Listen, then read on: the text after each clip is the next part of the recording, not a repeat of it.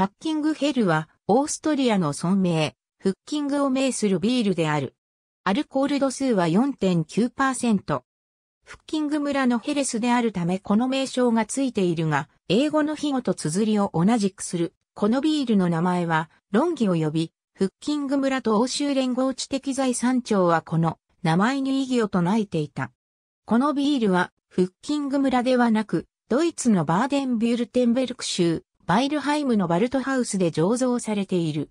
2013年より製造場所は、ケムニッツ近郊の自治体、ハートマンスドルフのブラウアーハートマンズドーフに移った。同ビールが作られ始めた時、フッキング村に醸造所は存在しなかった。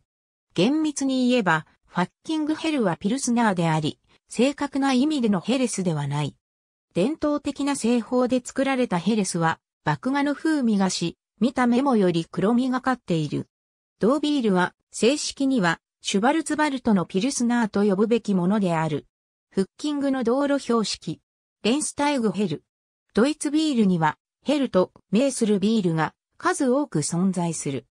2010年にドイツ人ビジネスマンのシュテファン・フェレンベルク、フロリアン・クラウゼとハンス・ヨルグシャーラーはビールの新しいブランドを考案した。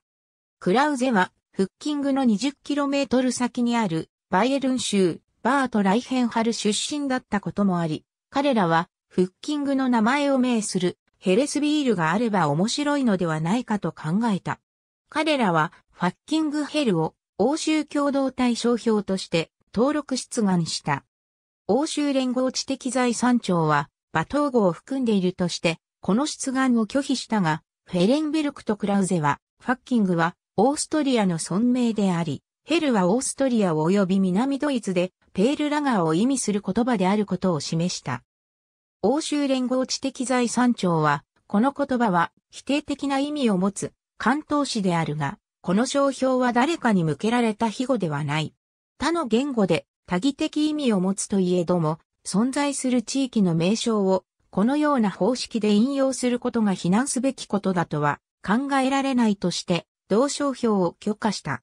フェレンベルクとクラウゼは、ファッキングヘルのブランドを衣服や食料品といった他の分野にも広げようとしている。このビールは2011年現在も売り続けられている。ありがとうございます。